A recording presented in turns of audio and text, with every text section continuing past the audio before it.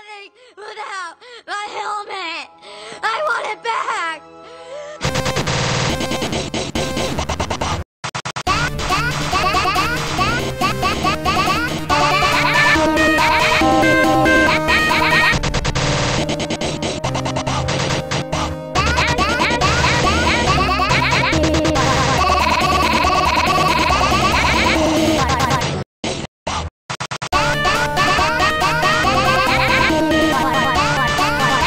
Bye.